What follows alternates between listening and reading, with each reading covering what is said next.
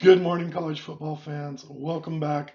CFP rankings came out last night, and I've been updating all of my tables accordingly. As I look at the matchups for this weekend in the conference championships games, I really have to ask myself, do these games matter? And should they be played? Would we be better off using them as just a, an entry round into a proper playoff system?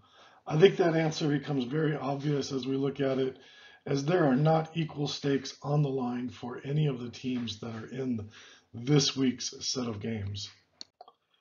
The SEC, Big 10, Big 12, and Pac 12 all have teams that are currently seated in the top four of the college football playoff.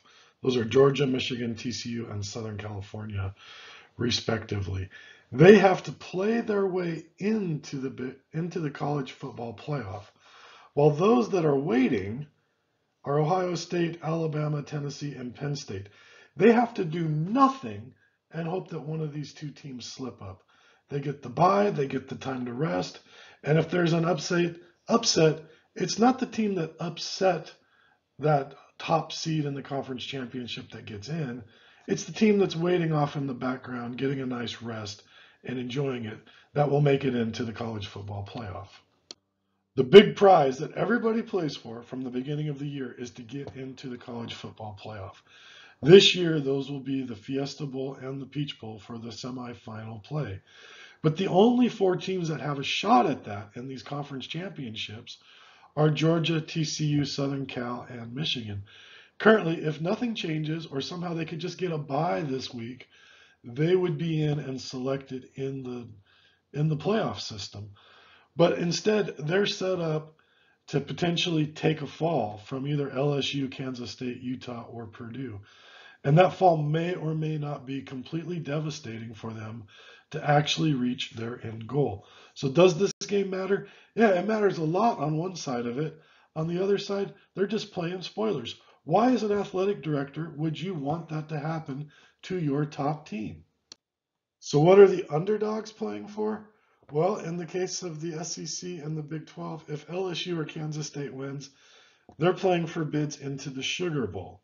If Utah or Purdue wins, they're playing for bids into the Rose Bowl. Now, these are not shabby bowls, and you know what? The losers aren't going to be in bad shape either, but that's what they have to play for if you're going to look at that from why show up to this game and risk your injury and all that kind of thing.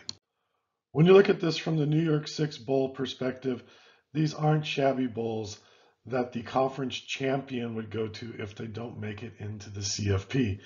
The issue here is you're going to have three and four loss teams making it into both the Rose Bowl and the Sugar Bowl, and you're going to be stuck with one and two loss teams who may not make it into this college football playoff, try and divide to get into these remaining slots for the Cotton Bowl and the Orange Bowl in a completely unpredictable, unpredicted fashion based upon what the CFP rankings have been trying to do for the last month.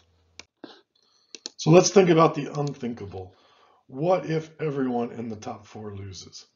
That would put us in a situation where we had Georgia, Michigan, TCU, and Ohio State all with one loss, and then Southern Cal, Alabama, Tennessee, and Penn State all with two losses. Who do you think that they would take? Well, I'm guessing that the committee is going to go in this direction. Remember, none of these would be conference champions at this point in time.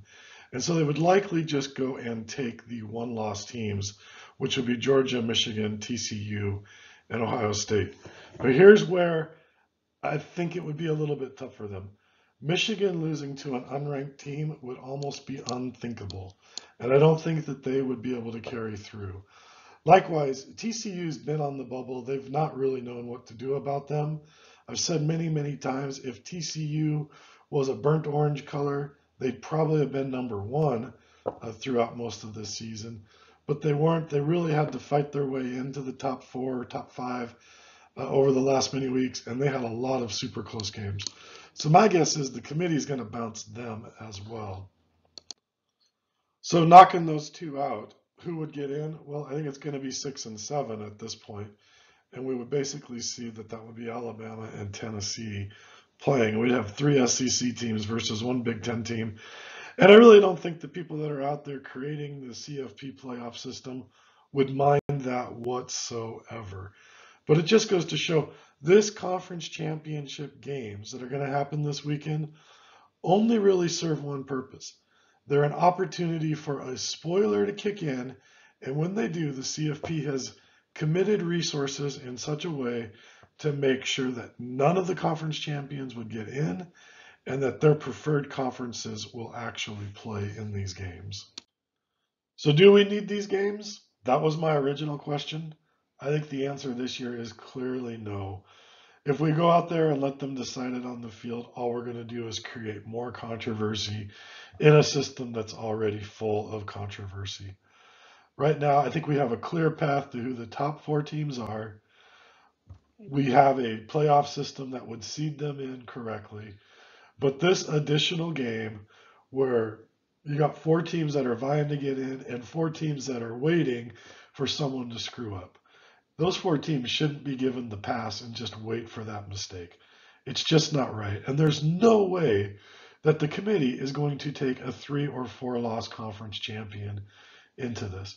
And I've shown you that while the CFP says they prefer conference champions, in the most extreme case, and it and it may be true in one out of four of those scenarios, the conference champion will be denied and not allowed in.